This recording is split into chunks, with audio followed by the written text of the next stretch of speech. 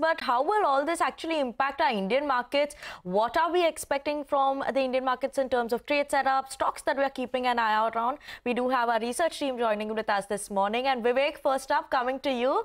Good morning. And are we expecting a happy Friday on the D Street? What's the setup looking like? Well, uh, you know, so far nothing to complain. The setup looks quite good. Uh, remember, we are starting off a new series. Uh, we ended the September series on a very, very strong note. Now, uh, let's look at you know some of the cues and how they've actually panned out overnight. U.S. markets, all U.S. markets ended gains, so no, nothing to complain over there. Uh, oil markets, in fact, yesterday cracked quite sharply, almost a two, two and a half percent cut across oil markets. Brent futures ended low by two and a half percent to the $71.6 a barrel mark. So again, that continues to remain a tailwind as far as India is concerned. Now, talking about the Indian markets, uh, last hour of expiry day yesterday was quite significant. You saw surge as far as all of the benchmark indices was concerned. Nifty, Nifty Bank, and all of them ended at record closing levels. And in fact, when you're talking about you know which were the key sectoral gainers yesterday, the auto index surged quite significantly. Maruti M&M, all of them did very well in the session. Hero Motor was an outlier and lagged as far as the auto pack was concerned. What continued to do well was also the metal pack, and metal pack now amongst the top sectoral gainers even in this particular week. Uh, key stocks, you know, that actually lagged yesterday. Crompton Consumer, remember the company in an analyst meet flagged off demand concerns as far as Q2 was concerned, dragged particular stock drag. But what are the key cues to track in today's trading session? Remember, we will be having the NSE indices, the Nifty, as well as CPSE rebalancing. So you will see some impact as far as stocks are concerned. Or amongst all of those indices, remember BEL Trent to enter the Nifty from Monday. And Asian markets, GIFT Nifty, all indicating a positive start for our own markets. Okay, thank you so much for that, uh, We're keeping an eye out on that one. But uh, what are the important stocks that you should be keeping on your radar today? Vamakshi is joining with us. Good morning, Vamakshi. Well, good morning, Vinny. Let me first start off with IT stocks. They will be in focus because Accenture has upped its FY25 revenue guidance to 3 to 6% as compared to 1.5 to 2.5% earlier. This bodes uh, positive uh, cues for the IT stocks like Infosys, TCS, Wipro, all of these counters will be in focus today.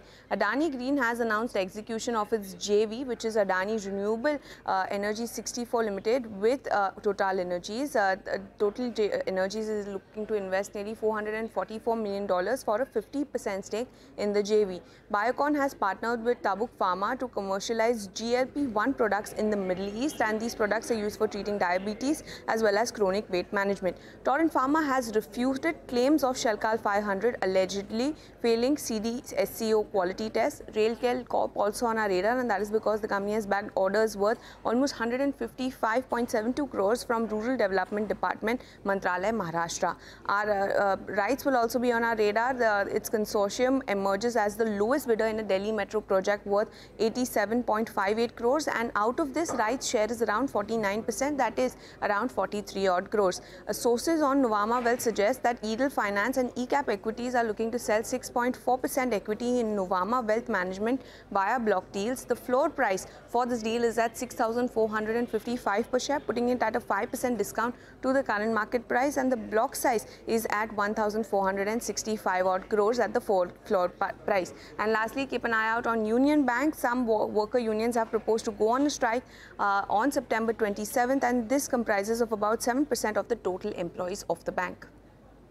Thank you so much for that, Vamakshi. But Nigel, coming to you, good morning. And how is uh, the F&O space looking like? What are we watching out for after the end of September series? Well, um, morning, Vinny. You know, the rollovers are a little bit higher than what we've seen on an average in the last three series or so. And the total open interest of the Nifty as well is uh, a little more meteor in comparison to what we saw at the start of the September series. So the longs on the Nifty have got rolled over.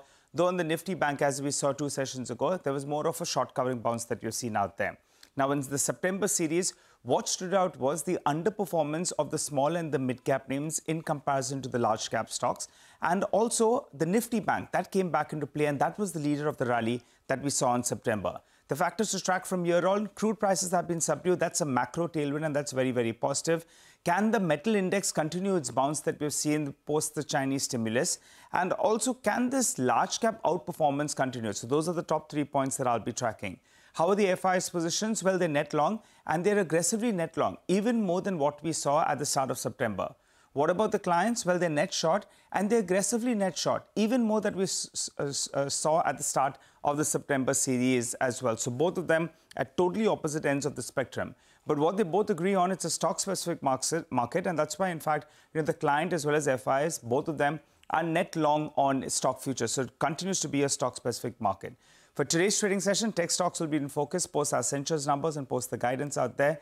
And most brokerages, they believe that things are bottoming out and growth will come back. And IT sector, well, it contributes, IT stocks contribute roughly around 15% uh, of the total Nifty constituents uh, as well. Levels should come up for you on the screen. On the upside, it appears the Nifty is on its way to 26,500, or that'll be the first uh, reference point. On the downside, 25,800, we almost went there a couple of sessions ago. So that becomes a bit of a support in the near term. Back to you. Thanks so much for that, Nigel. Put on